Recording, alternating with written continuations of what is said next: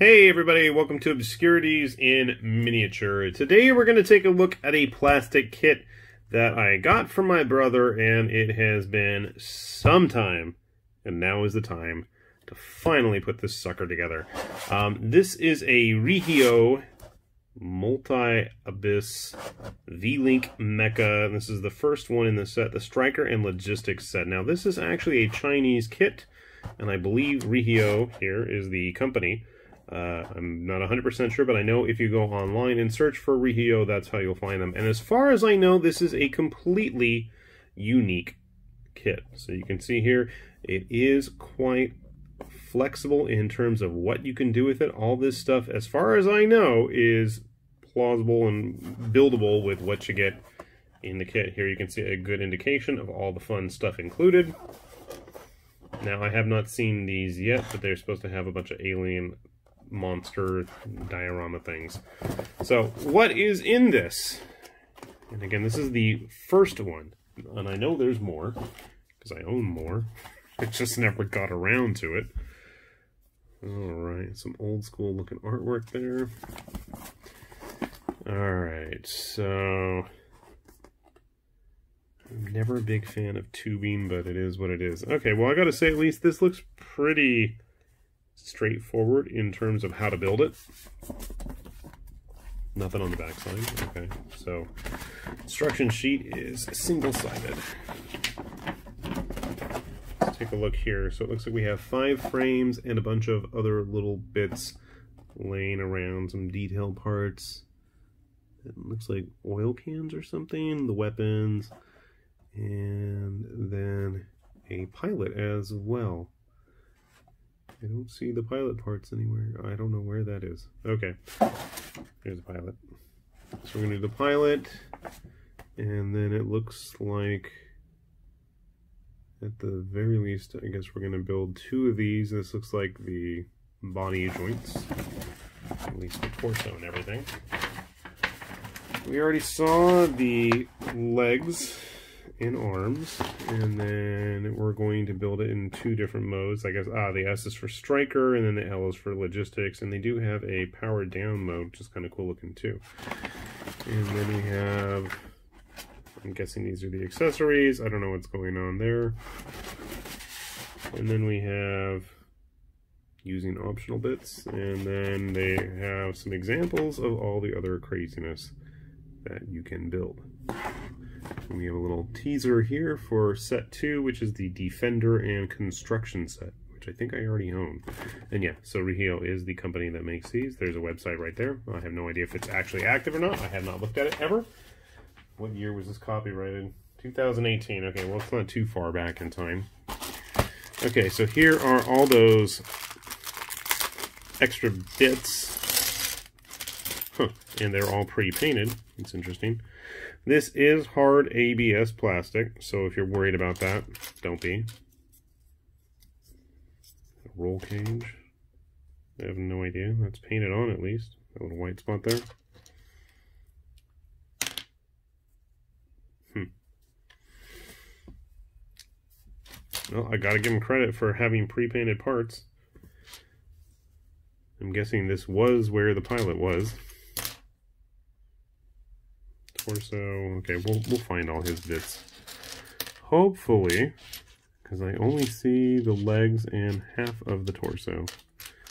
I don't know, we'll figure it all out. Knife. Okay, so that's all those bits there. Ah, yuck. I gotta cut the tubing myself. Fine. Always wash those. I learned that.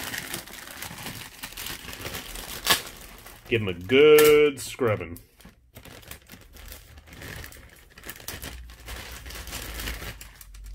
Whoa, okay, something just went flying away. A screw or a plug of some sort. I have no idea where that came from. That's not good. Better hold on to that. Okay, those look like the pilot arms. This doesn't look that complex. No polycaps. So if you are a fan of polycaps, be aware. There are none there. That's not too bad. I don't know why I put this off for so long. this isn't that bad. Okay, we know what the part is at least, and there's two of those. I think this is to build the torsos. You have enough to build both, maybe? I don't know, but I'm about to find out. So give me a sec. I'm going to get this thing as built up as I can, and we'll give you a good look-see. And hopefully, I'm thinking that this looks like it's going to be pretty gameable size when all is said and done. So sit tight, let me go get that thing all put together. All right, we've got our mech, Well, hopefully he's on the screen there. All put together, and I gotta say, I'm pretty impressed. Now, looking at it right now, it's not a whole lot to look at. I admit that. But just wait a sec, because there's just a whole lot of stuff going on here with this guy. Now, first of all, there is, I built the, what is this, the Striker? This is the Striker mode. So the Logistic has an open cockpit, which I just didn't want to build, and it does have a little one, I think he's 172nd scale. Maybe not. That looks kind of big for 172nd scale. But there is a pilot figure that goes inside there. He can't move, really, and then I didn't want to take apart the whole torso. But the torso itself is on a ball joint. Just about everything is posable on it. Funny enough, it fits wonderfully on a 60 millimeter base. So if you wanted to use it for a dreadnought or something, tag's about the closest thing to a dreadnought I have handy. Just to give you guys a good size indication. I don't know why I haven't worked there.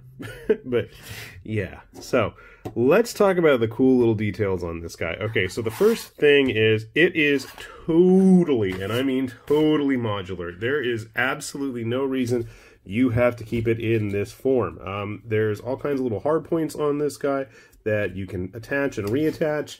Uh, so like where the hands are attached to the arm, this is actually adjustable. You can put it at all three different points there. But let's talk about all the fun things that he comes with. I forget how to set it. There's like a way to set it in, you know, standby mode, but I'm not going to mess with that. I'll let you guys figure those things out. I know it includes using this bit right here. Here is the roll cage for the logistics mode. You want to turn it into a forklift or something.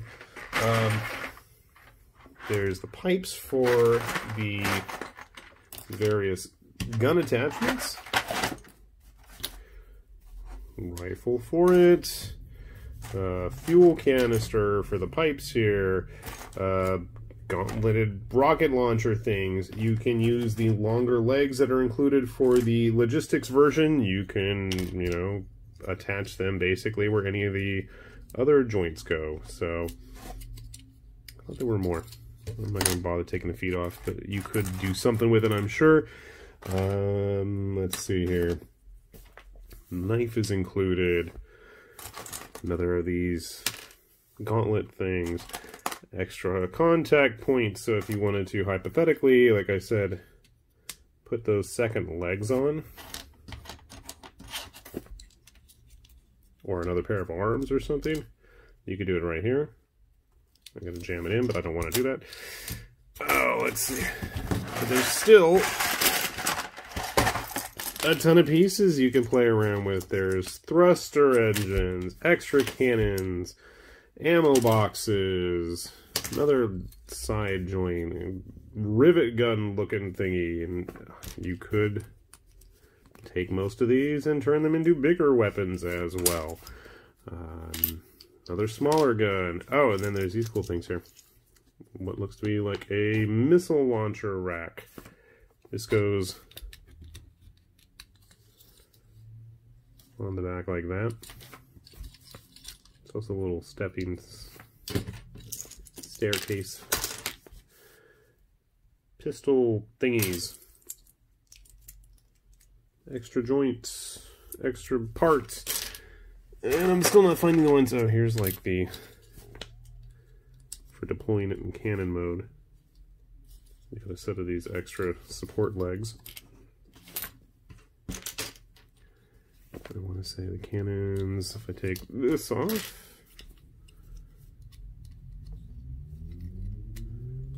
That's where they go. So you could have them launching it in cannon mode there. That is the sound of all the extra parts that I still haven't even gotten to yet. More ammo things. More launcher things.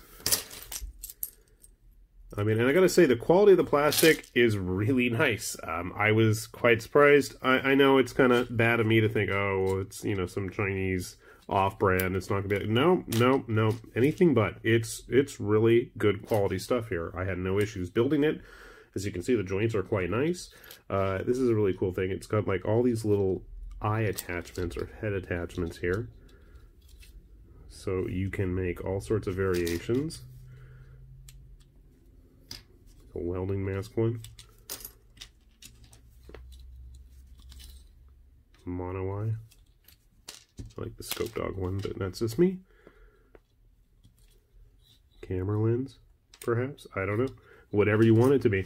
Um, you know, it kind of also gives me a little bit of an SF3D vibe. But just the sheer amount of goodies with it, I mean, you can come up with your own craziness with really no issues. And again, size-wise, I mean, honestly, if you really wanted to, use it as some kind of, you know, laboring mech in a 15 millimeter game or grabbing a 15 millimeter model. I think it would work really great. You get it all, you know, glued into a nice pose. Perfect size. You want to go dreadnought style, you know, totally could.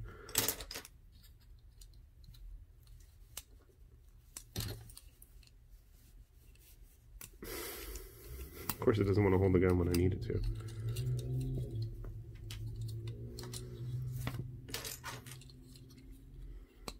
Does it count as grenade launcher or something? I don't know.